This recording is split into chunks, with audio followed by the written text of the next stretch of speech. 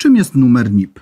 Czyli po prostu numer identyfikacji podatkowej. Składa się on z 10 cyfr i ma za zadanie służyć do identyfikacji podatników w Polsce. Jest on nadawany przez naczelnika Urzędu Skarbowego i numer NIP obowiązuje w Polsce od 1996 roku.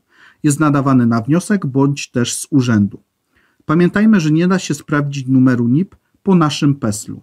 Trzy pierwsze cyfry oznaczają kod Urzędu Skarbowego, sześć kolejnych są cyframi losowymi, dziesiąta cyfra to cyfra kontrolna.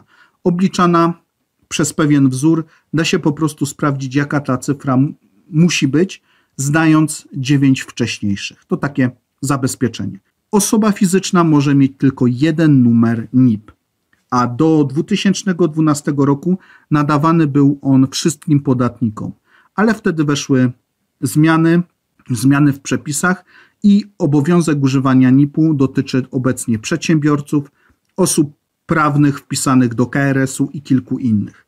Jeszcze raz podkreślę, że to numer identyfikacyjny, czyli identyfikuje przedsiębiorcę, a PESEL, PESEL, którego też bardzo często używamy, służy po prostu do identyfikacji osób prywatnych. Więc kiedy ktoś ma dostęp do odpowiedniej bazy danych, zna nasz NIP, po prostu wpisując go jest w stanie uzyskać o nas bardzo dużo informacji. Podobnie jak to ma miejsce z numerem PESEL. Po prostu dzięki temu nie ma możliwości pomylenia nas z inną osobą i to właśnie dzięki temu, dzięki temu numerowi NIP da się w bardzo łatwy sposób nas zidentyfikować i odpowiednie urzędy mogą przechowywać i wykorzystywać wiele informacji o nas, danych o nas. Dziękuję za uwagę, zapraszam ponownie.